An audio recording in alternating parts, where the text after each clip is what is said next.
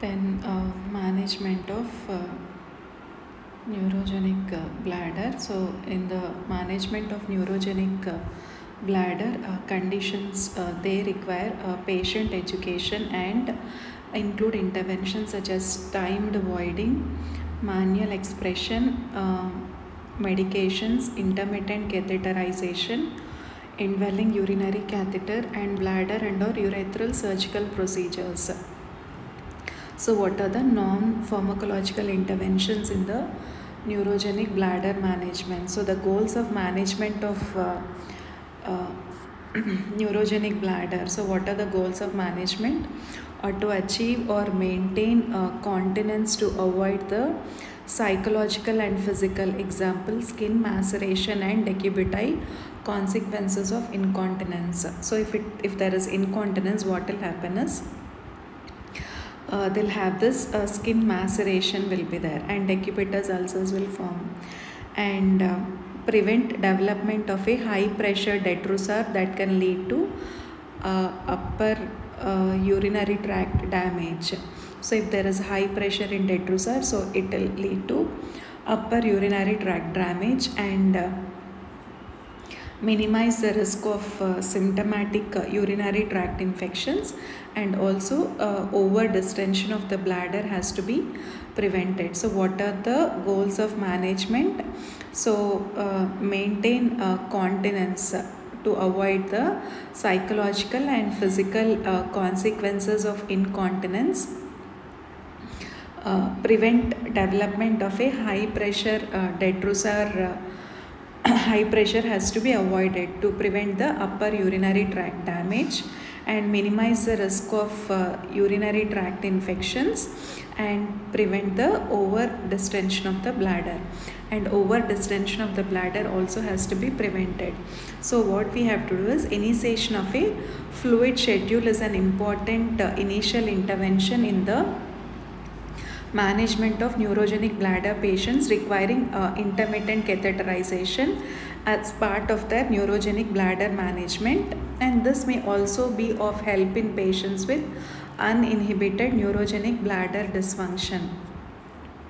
So what has to be done? Uh, initiation of a fluid schedule okay?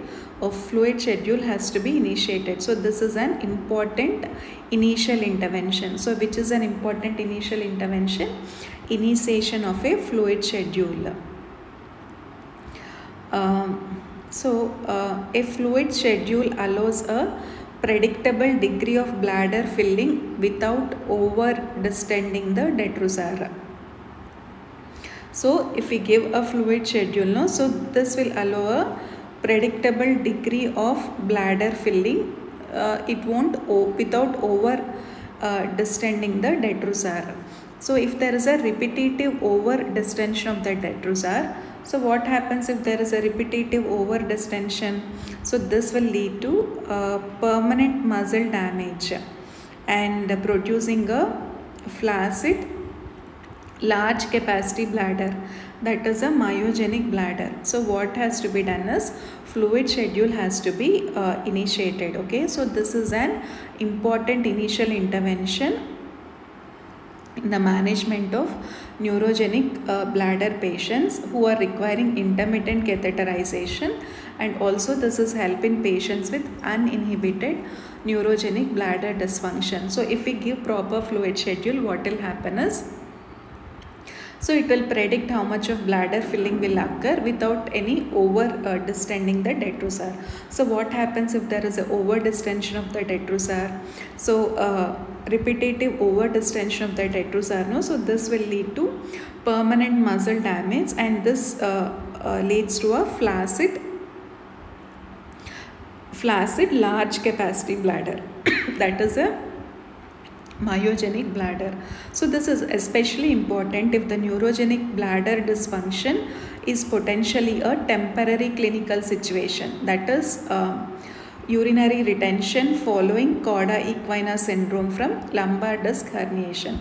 Why this initiation of fluid sh- uh, schedule is important, especially important in if this neurogenic bladder dysfunction, no, it's a temporary. So, in temporary situations, no, uh, like um, following cauda equina syndrome. So, what will happen? there will be a over distension of the bladder so from lumbar uh, disc herniation which is causing the cauda equina syndrome what will happen is it will lead to over distension of the bladder so uh, and if it is a temporary clinical situation we should not uh, paralyze the bladder completely so that is why initiation of a fluid schedule is uh, important and then uh,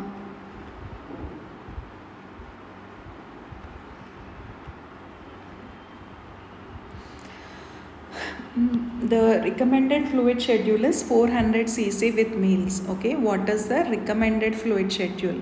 How much fluid we should give? 400 cc with meals okay?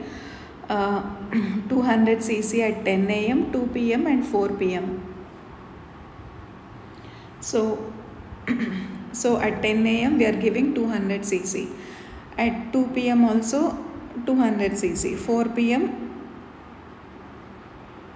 uh, 200 cc and then only uh, sips of fluid. So with meals it is 400 cc 200 cc at 10 a.m uh, 2 p.m and 4 p.m and then uh, only sips of fluid after the evening meal. Okay? After the evening meal only sips of fluid after the evening meal. So total it comes to 200 200 400 600 1000 so 1800 cc per day total. And accounting for insensible fluid loss with respiration and sweating uh, this fluid schedule keeps urine information limited to about 1600 cc per day so this accounts for the insensible fluid loss okay? So insensible fluid loss with respiration and sweating. This will lead to insensible uh, fluid loss because of the pre uh, sometimes hyperventilation and all no? so this will lead to insensible fluid loss. Normal respiration also insensible fluid loss and sweating. So this fluid schedule keeps urine information urine formation uh, limited to about 1600 cc per day. And if urinary catheterization is then performed on every 6 hour schedule so when do we do a urinary catheterization? So this is done on every uh, 6 hour uh, schedule. So the catheterized volumes will be approximately 400 cc each okay so then what we are doing, we are doing urinary catheterization every 6 hours and the catheterized volumes will be 400 cc each.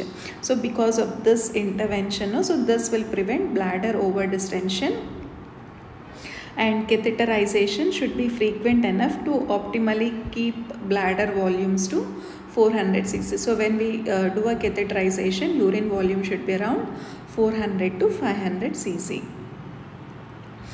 If neurogenic bladder management consists of an uh, indwelling Foley's catheter or suprapubic catheter, then fluid intake should be generous. Okay.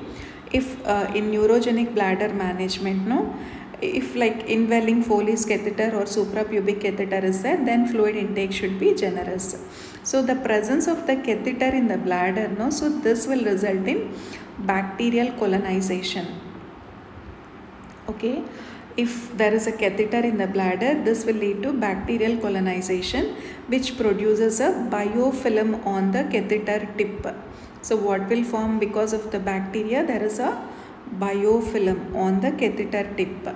So urease producing bacteria in the bladder, they uh, elevate the urine pH. Okay. So if there is a urease producing bacteria, so what does this urease producing bacteria do? It elevates the urine pH, it causes calcium and magnesium uh, phosphate crystals to form in the urine which cause encrustation of the catheter and uh, potentially obstruction. If there is a urease producing bacteria, so this urease producing bacteria uh, it will cause uh, elevation of the urine pH. Urine pH will be elevated. Uh, this will cause uh, calcium and magnesium phosphate crystals. So what crystals? Calcium and magnesium phosphate crystals it will form in the urine. So which cause uh, these crystals no they cause encrustation of the catheter and this will lead to potentially obstruction obstruction of the catheter is associated with an uh, elevated risk of urinary tract infections as a slow urinary output. So if there is a catheter obstruction, what will happen? There is a risk of urinary tract infections and also there will be a low urine output. So increasing dietary citrate to at least uh, 11 uh, grams per day uh, so if uh, increasing the dietary citrate okay what we have to do we have to increase the dietary citrate to at least 11 grams per day in fruit juices to keep urine pH greater than 8 in conjunction with increasing fluid intake no? So this will to dilute the uh, urine calcium and magnesium concentrations so this can prevent the catheter uh, encrustation and especially if uh, total uh, daily fluids are at least 3 liters per day.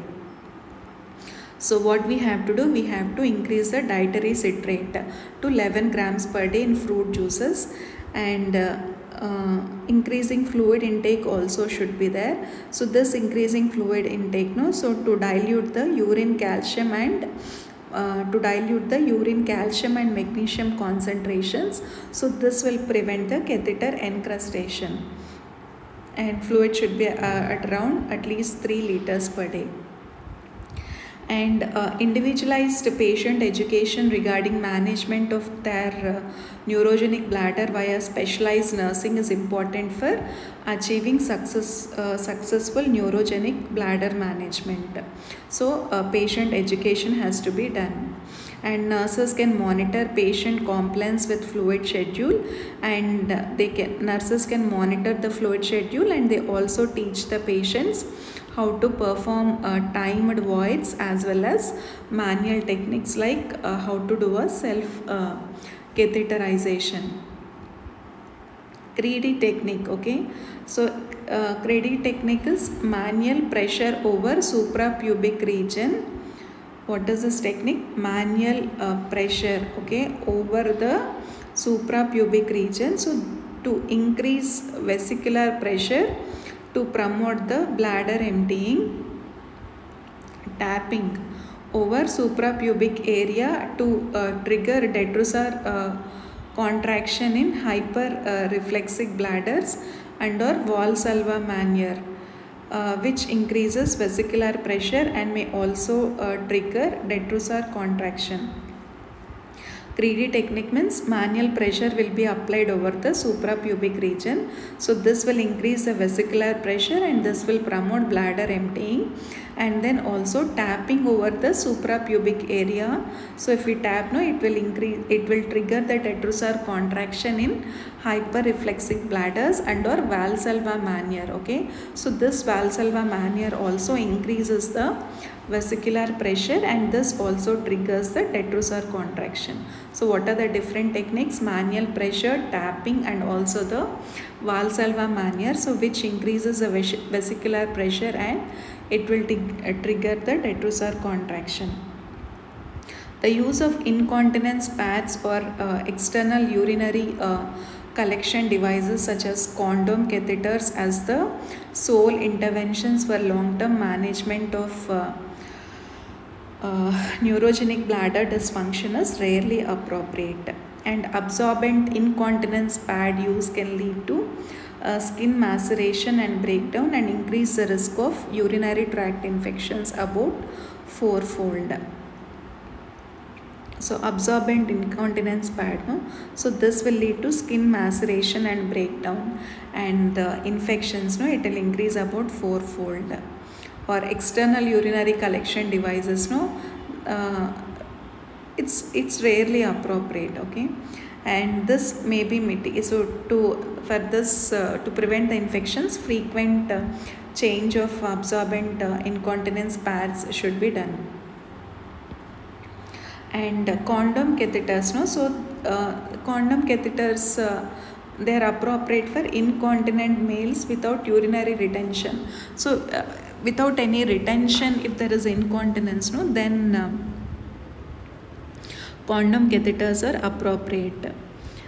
Uh, who have significant functional impairments. And for example a male uh, patient with uninhibited bladder okay and severe hemiparesis uh, following a stroke no?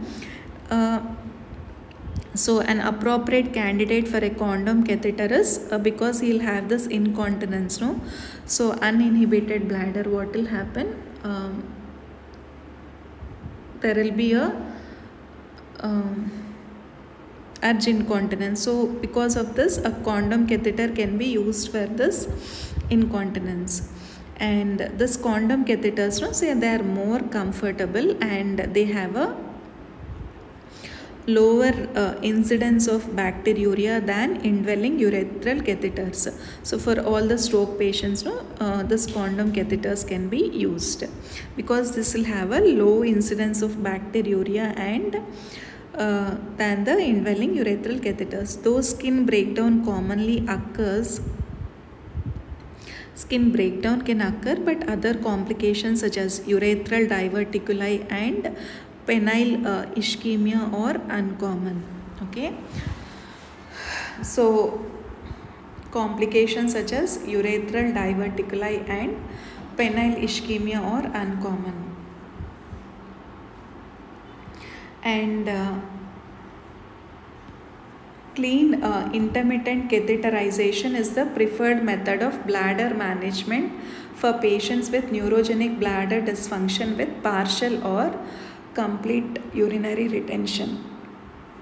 So patient is having retention okay?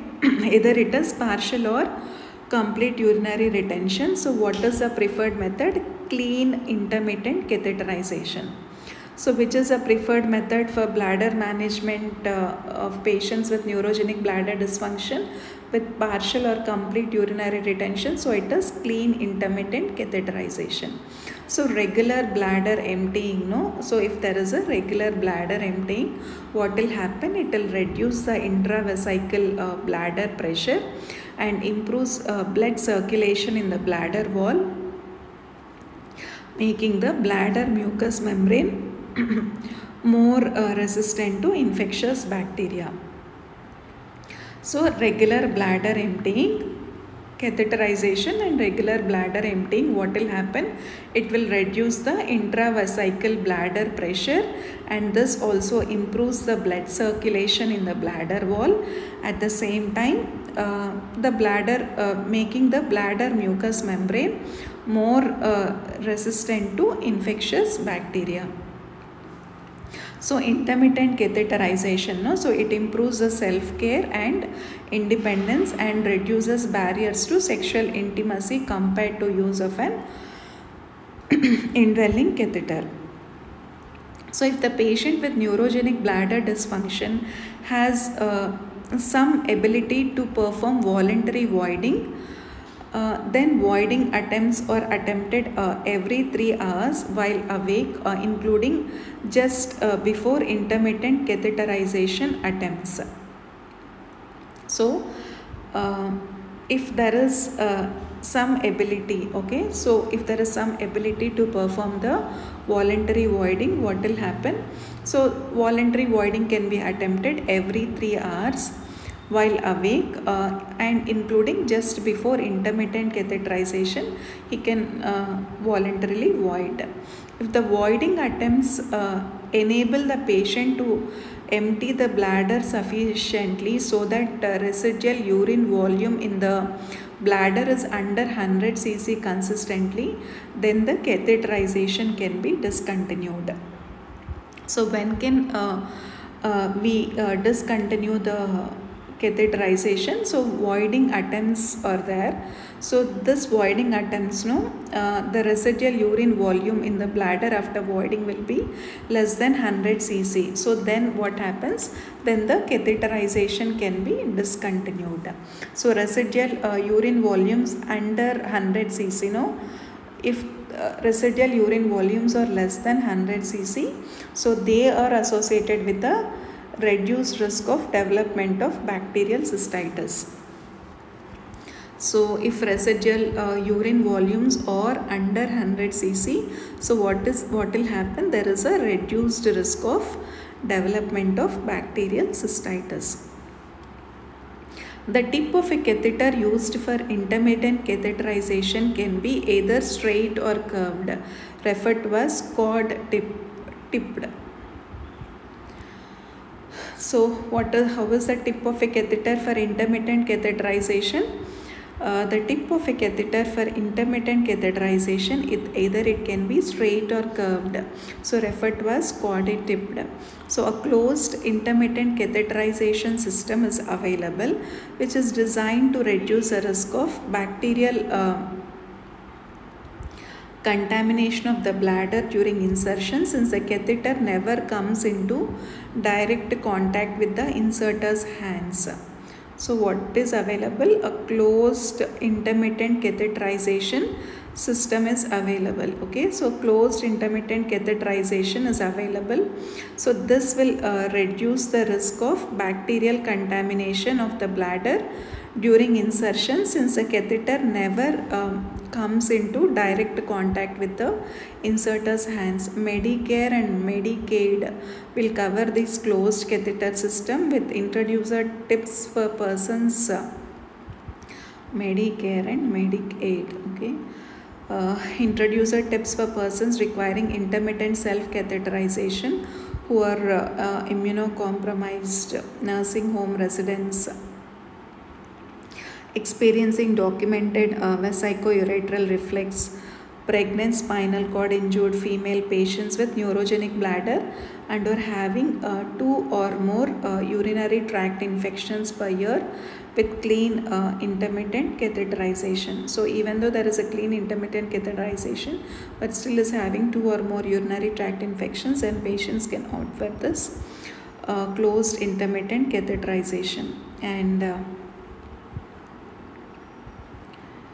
the most uh, frequent complication of intermittent catheterization. What is the uh, most uh, frequent complication of uh, the most frequent complication of intermittent catheterization is urinary tract infection.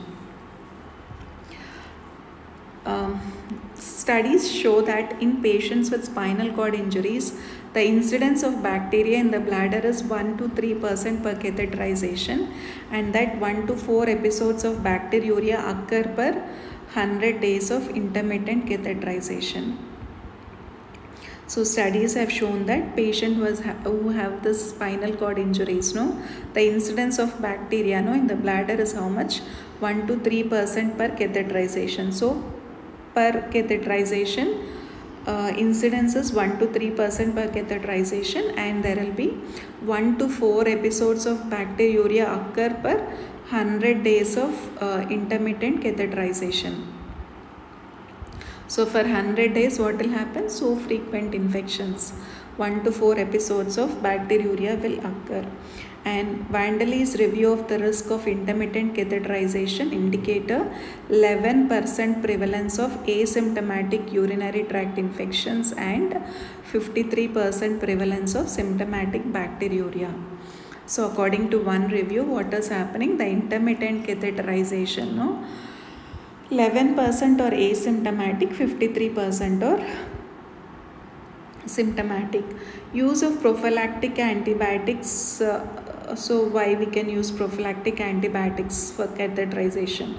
But it is controversial but use of uh, low dose sulfamethoxazole or nitrofurantoin at night. It may reduce the risk of symptomatic uh, bacterial cystitis without encouraging drug resistant bacteria. So if low dose sulfa sulfamethoxazole or nitrofurantoin at night uh, if it is used no this antibacterial um, antibacterials. So this will reduce the risk of symptomatic bacterial cystitis without uh, encouraging the drug resistant bacteria. And prostatitis may occur in up to one third of men performing intermittent catheterization.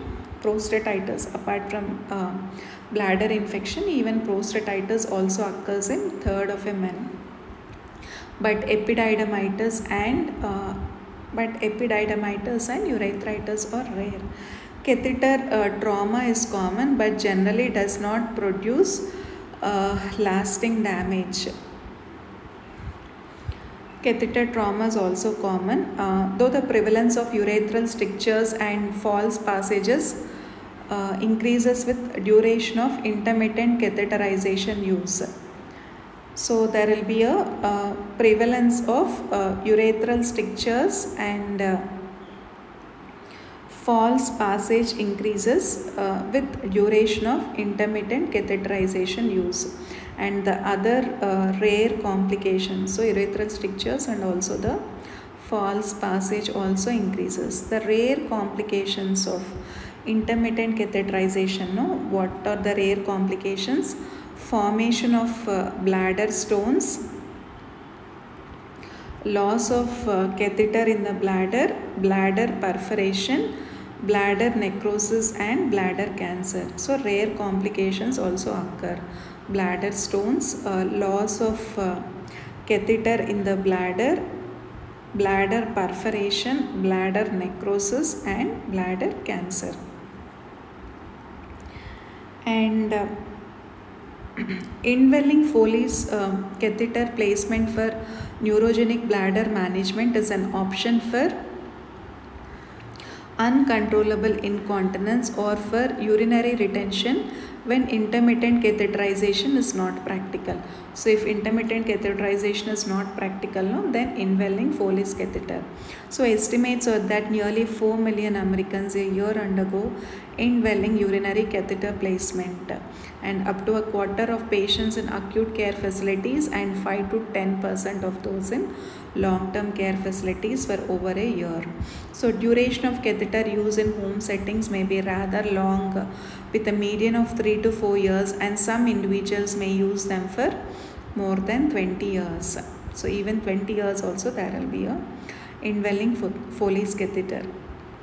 So for example, uh, myelomeningocele patients, no, so they have uh, impaired motor and or intellectual function, okay myelomeningitis meningocele patients they have this impaired motor and intellectual function so that makes self clean intermittent catheterization impossible. So for these patients no indwelling urinary catheters may allow them to maintain independence one study noted 12% of their myelomeningocele cohort used indwelling catheter for long-term uh, bladder management. So in the setting of long-term indwelling uh, urinary catheter placement, antibiotic uh, prophylaxis to prevent urinary tract infection should be avoided as it will result in development of drug-resistant uh, bacterial organisms colonizing the bladder okay? So if patient has got this long term uh, indwelling catheter placement no antimicrobial prophylaxis should be avoided. Why they should be avoided? Because this uh, results in development of drug resistant bacterial organisms colonizing the bladder. So instead as previously discussed patients with indwelling Foley's catheter should maintain high that is uh, greater than uh, 3 liters per day of oral fluid intake. Indwelling catheter is there so how much fluid he can take? Greater than 3 liters per day. So fluid out fluid should be high. Oral fluid intake to keep the colonized bacteria flushed okay? To flush the bacteria from the uh, bladder and the catheter no? This should be changed uh, monthly. So catheter should be changed monthly. And other complications of indwelling catheters include what are the other complications of indwelling catheters bleeding um, urethral or uh, bladder injuries bladder uh, sediment or stones catheter malfunction including obstructions bladder perforation rectovesical fistula and bladder cancer.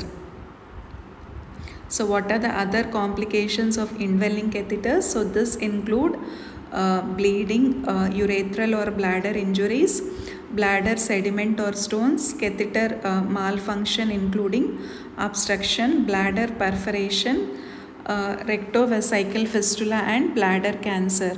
For male patients, many experts recommend using the uh, smallest diameter urinary catheter feasible and to tape it to the lower abdominal wall under low tension to minimize the risk of uh, urethral erosions. So for male patients, no, many experts recommend using the smallest uh, diameter urinary catheter uh, feasible and uh, uh, to tape it to the lower abdominal wall under low tension to minimize the risk of uh, high tension is there means there will be a risk of urethral erosions.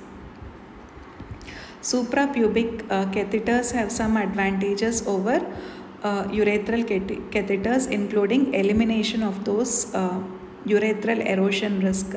So to prevent that urethral erosion risk, no, suprapubic catheters uh, have some advantages. Okay, uh, suprapubic catheters, no, they are easier to manage in terms of hygiene and uh, catheter changes. They have less chance of catheter kinking. Uh, they are easily reversible and may cause less uh, interference with self-image and uh, uh, sexual intimacy than with use of Foley's catheters when used for long-term bladder management. So suprapubic catheters have advantages. What advantages? Easier to manage in terms of hygiene, uh, less chance of catheter kinking, uh, uh or easily reversible and may cause less interference with self-image and uh, sexual intimacy uh, than with use of Foley's catheters for long-term bladder management. Significant surgical risk exists, however, for suprapubic catheter insertions. So, what are the surgical risk for supra, uh, risk with suprapubic catheter insertion? So, a retrospective study of 219 patients found a surgical complication rate of 10 percent mortality rate 1.8 with 30 day complication rate of 90%. So these high complication uh, rates, no, uh, they likely reflect the underlying medical comorbidities in the patient population. So beyond expected elevated risk of urinary tract infections in long-term follow-up, a quarter of the cohort experienced uh, so quarter of the cohort. So urinary tract infections are the most common okay? And apart from this there is also um, catheter obstruction will be there and uh, less frequent complications included uh, exit site okay? Obstruction infection and also there is a exit site infection granulation uh, bleeding bladder spasms and catheter uh, technical difficulties. So apart from this what else will be there? There will be a exit site infection uh, exit site infection uh, granulation uh, bleeding bladder spasms and catheter technical difficulties. So despite this 70% 71% of this cohort had prior uh, unsatisfactory experiences with Foley's catheter prior to opting for uh, suprapubic catheter insertion and nearly 90% preferred their suprapubic catheter over a urethral catheter. So few patients, no, they had unsatisfactory experiences with uh, this Foley's catheter. So 90%, no, so 90% uh,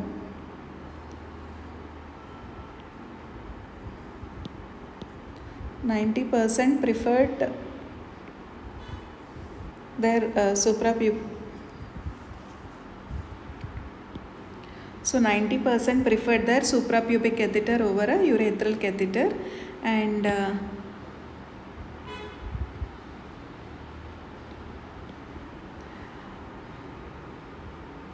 and bladder stones occur in up to 65% of individuals with suprapubic catheters compared to so when uh, suprapubic and intermittent catheterization is compared, no, so bladder stones, no, So these uh, bladder stones they are occurring in up to 65% of individuals with suprapubic catheters. And there are rare reports of uh, bladder cancer uh, though with less than half the risk associated with use of urethral catheters. And suprapubic catheters no? They should be changed routinely and uh, some experts recommend changing the catheter at the average time. It takes for the catheter to obstruct for each patient one to several weeks. So routinely suprapubic catheters have to be changed uh, and some experts recommend changing the catheter at the average time. It takes for the catheter to obstruct for each patient one to several weeks.